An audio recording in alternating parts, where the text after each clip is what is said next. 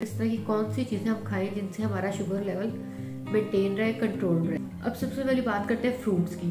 Fruits में सबसे पहले तो आप लोगों ने बिल्कुल भी फ्रूट जूसेस का इस्तेमाल नहीं करना। जो शुगर के मरीज़ हैं, वो एक फ्रूट वैसे ही खा लें, लेकिन उन्होंने फ्रूट जूसेस का बिल्कुल भी इस्तेमाल नहीं करना। इसके बाद जो फ्रूट्स जिनका ग्लाइसेमिक इंडेक्स लो है, उन फ्रूट्स का इस्तेमाल करें। अब उनमें कौन से फ्रूट्स आ जाते हैं? एप्पल आ जाता है उसमें, सेब, अमरूद, खुबानी पोमिग्रेनेट अनार आ जाता है उसमें। आप इन फलों का इस्तेमाल कर सकते हैं, जो शुगर के मरीज़ हैं।